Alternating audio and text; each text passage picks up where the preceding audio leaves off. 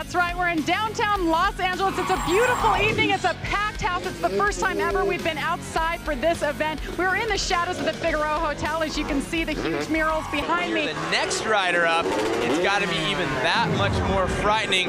Jeremy Stenberg has been tackling the 90-footer in practice. The question is, will he go for a flip combination? He has been second place in five major events this year. He does not want to be the bridesmaid again. Of second. Let's see what he's got off the 90. And the turn down backflip,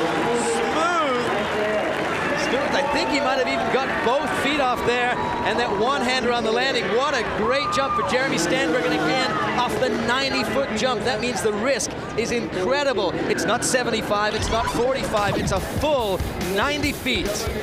And you see him doing the turn there, throwing the no-footer, maybe a little tentative on the no-footer, throws up the hand, totally committed to the one-handed lander.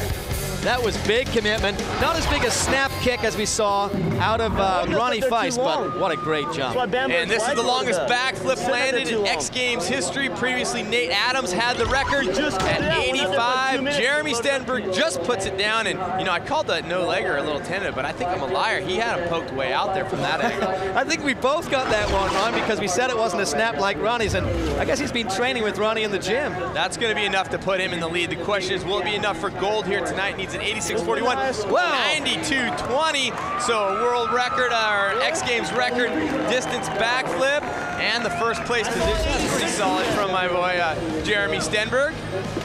That was a great one for Jeremy. I hope it's going to be enough. Look how whipped out that bike gets, how big the no-footer is, and full commitment when he is upside down to take that arm off the bike. But it's going to be Jeremy Stenberg's first ever gold medal. And right now, let's go down to Jamie Little, who I'm sure is with the very excited Jeremy Stenberg. And Brian Deegan salutes him, all of his friends and family here. Tell us exactly how difficult was it for you to pull that trick? It wasn't difficult at all. You know, I've been doing that trick for a couple months now, so it's pretty much just came with the. Brian said foot. he wouldn't even try it. That's how hard it was. Come on. I've had that trick in the book for at least two months, so pretty pumped to finally come and get the monkey off my bat. I've had enough seconds this year. I've had like nine, so finally pumped. I got one where it counts at X Games. You know, I've been wanting a gold medal for a long time. And he's been working very hard at it. He is your X Games gold medalist and best trick. Guys, Well, Jamie, Jeremy Stenberg does it and does it against the big dogs. He beats Pastrana, Adams, Bartram, Faisst, all the hitters in the house. what they'll be riding on, the iceberg, as they like to say. There are two jumps, but there really is no option. You want to win this thing, you gotta go 90 feet, the 75 foot jump, just there for decoration. And for more on the course, let's check in with Jamie Little.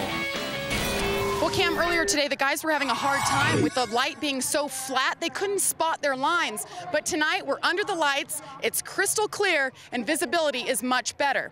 Now, the people watching at home, the biggest misconception is that these guys are jumping on snow, that it's a cush landing. As you can see here, it is solid ice. But with the equipment they're running, the icier it is, the better the traction, the bigger they go. Cam? Jeremy Twitch Stenberg, we've told the story before. He has Tourette syndrome, makes him shake his head involuntarily now and then, but it never happens going up to the jump. It always seems like right after he lands and he's safe, we get the head shake. It's amazing how calm he becomes just before he hits it. Let's see if he goes for the no-handed combo one more time. Oh, I see how it's gonna be. Hey, Ronnie. Well, remember, Ronnie landed with the one hand off, but upside down, he's throwing his arms straight above his head. And again, as you pointed out before, he has bigger extension than Nate Adams on the no-hander. So let's take a look. Shifts his foot under the peg. Look at that extension on the no-hander. Great job. Comes around almost late with the side saddle lander, but he does get it over cleanly. Pulls it off. So it's going to be interesting to see what the judges think. Watch that foot hook under the peg to keep the bike from flying away. Twitch is on his game and he lands a big trick. First jump, which is what you really need to do to see where you stand in the standings when you go into jump number two. Remember, he doesn't have the luxury of going last. Matt Rebeaud, the number one qualifier, does.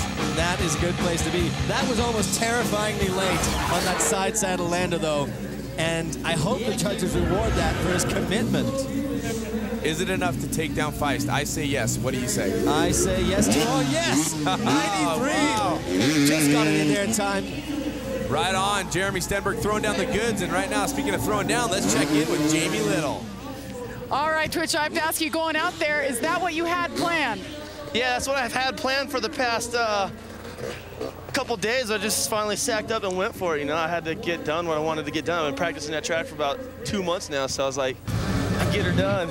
you think it's going to be enough to stop Matt Rebeaud's coming up next? well, I hope it is. If not, I'm going to pull something else out, so we'll see. All right, they do have one more run, Cam. I just think no medal for Rebeaud. 91-4-0. Not as good as his first run score. Jeremy Twitch Stenberg being congratulated by Brian Deegan. So the Metal Mulisha comes in and takes that top spot. And right now, let's go down to Jamie Little.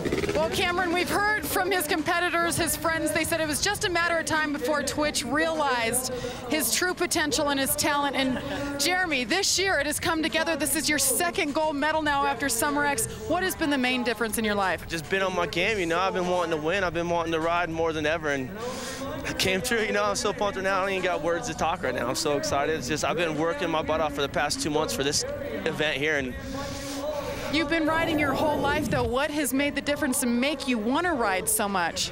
just life, man. I thank the good Lord Jesus Christ for keeping us all safe out here tonight, and just pumped. I don't even know what to say. Your beautiful fiance watching, your little girl at oh, home. girl Katrina at home, I love you, babe. Congratulations. Jeremy Twitch Stenberg takes home gold. Cam? Well, not surprising, many pe- people pick Jeremy Stenberg to win this thing. And you can see there it is, Ronnie Faisst collecting his first ever X Games medal with the bronze. Matt Rebeaud also collecting a first time medal at his first ever X Games, the silver. And Jeremy Stenberg, your big winner here tonight, going huge.